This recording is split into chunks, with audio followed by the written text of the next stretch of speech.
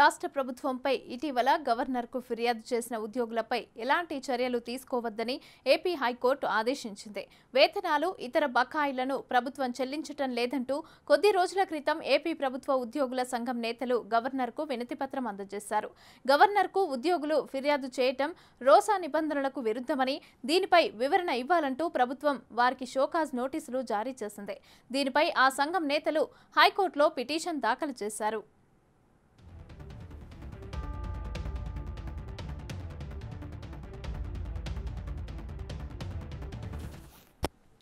ఇవాళ విచారణ చేపట్టిన హైకోర్టు ఇరువురి వాదనలు విని తీర్పును రిజర్వ్ చేసింది. తుది తీర్పు ఇచ్చేంత వరకు సోకాజ్ నోటీసు ఆధారంగా ప్రభుత్వ ఉద్యోగుల సంఘం నేతలు లపై ఎలాంటి చర్యలు తీసుకోవద్దని న్యాయస్థానం ఆదేశించింది.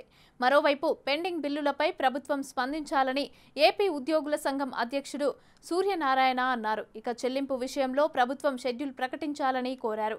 ఉద్యోగులు సంక్షేమం కోసం ఐక్య ఉద్యమాలకు కూడా కలిసి రావాలని పిలుపునిచ్చారు. ఫిబ్రవరి రెండున పెండింగ్ బిల్లులు చట్టబద్ధతపై సమావేశం నిర్వహించనున్నట్లు తెలిపారు.